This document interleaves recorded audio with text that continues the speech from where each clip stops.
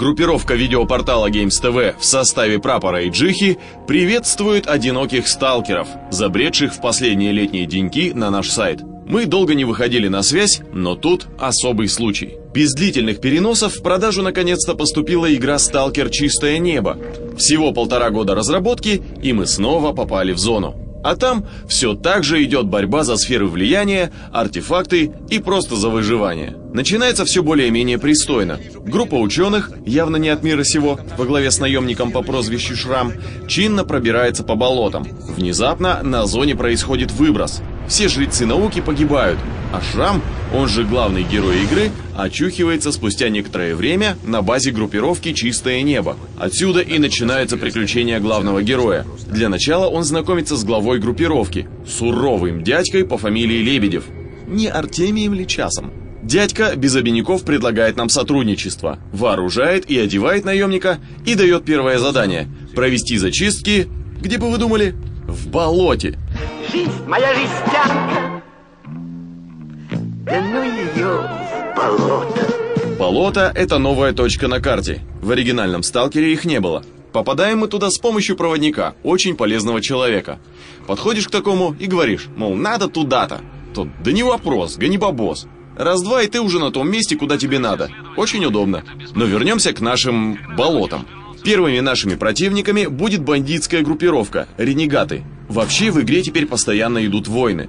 У каждой из группировок есть база и несколько точек на карте, которые она контролирует. Точки эти можно захватывать и перезахватывать. В игре есть общий рейтинг крутости всех группировок – сила. Чем больше у сообщества ресурсов и бойцов в отряде, тем выше положение в таблице. Отношение игрока с другими сталкерами складывается по-разному. Если вы враждуете, тогда по вам открывают огонь без предупреждения. Если у вас нейтралитет, попросят убрать оружие. А вот если вы в хороших отношениях, вам не только позволят тыкать всем в лицо стволом, но и помогут захватить какую-нибудь точку. Если вы вдруг захотите вступить в какую-нибудь группу, выполните для нее несколько заданий, завоюйте уважение главаря, и, возможно, он сам предложит вам присоединиться. Задания же, выдаваемые NPC, самые разнообразные – от обычных, вроде захвата хутора, до сложных, многоступенчатых, в которых вам предстоит вычислить убийц и найти их местоположение в темной долине. Двигаясь по сюжетной линии, игроку приходится обращаться к разным группировкам, и не всегда удается сразу получить необходимую информацию. Обычно для этого надо выполнить пару квестов. За выполненное задание награда теперь выдается не тем, кто его давал, а на базе группировки, которой принадлежал квестодатель. За это однозначный плюс. Ибо если во время выполнения миссии давшего ее NPC-шника завалят, у игрока останется возможность завершить задание и получить награду. Кстати, об NPC. На каждой базе, кроме простых сталкеров, обычно есть несколько определенных персонажей. Торговец, механик, бармен, главарь и знакомый уже нам проводник. Соответственно, торговец скупает у нас нажитое добро и продает редкую амуницию, механик ремонтирует и апгрейдит оружие и броню, а бармен и главарь являются основными источниками информации и поставщиками квестов. Помимо этого, у бармена можно закупиться паленой водкой, набухаться и в состоянии измененного сознания отправиться шататься по зоне, поля во все, что не похоже на то, что вы привыкли видеть. Ты кто такой некрасивый? Оружие тоже несколько видоизменилось. Появились такие дивные стволы, как охотничье ружье «Вертикалка», много новых пистолетов и три вида гранат. Но и враги тоже на месте не сидели. Если люди заметно поумнели и наловчились больше действовать сообща, то мутанты стали намного агрессивнее, а слепые псы так вообще заметно прибавили в храбрости и из-за своей верткости в большом количестве теперь представляют немалую опасность. Опасности таит в себе и сама зона. Расположенные в больших скоплениях аномалии манят игрока спрятанными внутри артефактами, найти которые можно только с помощью специальных детекторов.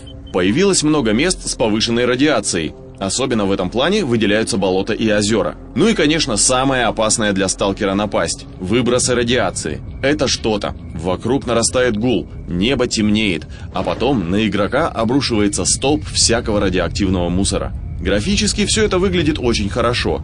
Объемный дым, реалистичное освещение, намокание поверхностей – все прелести 10 DirectX откроются геймерскому взору.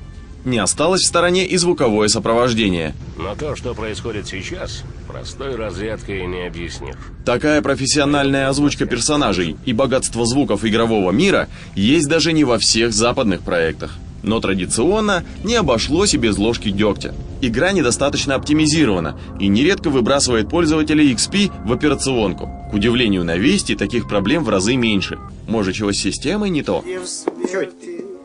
Да граната у него не той системы. Некоторые проблемы разработчикам удалось устранить патчем, но после установки игра отказалась воспринимать старые сохраненки. А ведь за такое игроки журили разрабов еще в первом сталкере. Ай-яй-яй. Но в целом игра удалась, и без всяких сомнений уже сейчас ее можно назвать лучшим шутером на территории постсоветского пространства. Именно таким и должен был выйти полтора года назад оригинальный сталкер. Кстати, «Чистое небо» — это предыстория событий первой части.